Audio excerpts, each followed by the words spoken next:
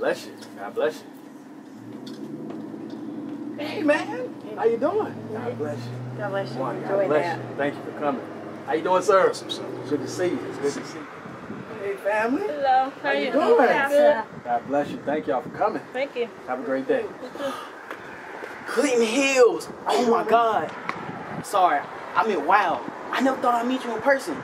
You're the greatest basketball player ever. Some people say it's Mike, but I said, you, Clinton Hills. My coach has told me so much about you. May I have your autograph, please? Well, I usually don't do autographs in the house of the Lord, but I'll make an exception this time. What's your name, son? Anthony. Anthony Jenkins. People call me Tony though. Tony. Yes, sir. So, are you saved, Tony? Uh, I think so. I believe in God, but I'm not so big on whole church thing. But if you was a pastor, I would love to go to church. Well, don't become involved because of me. Become involved because God is God.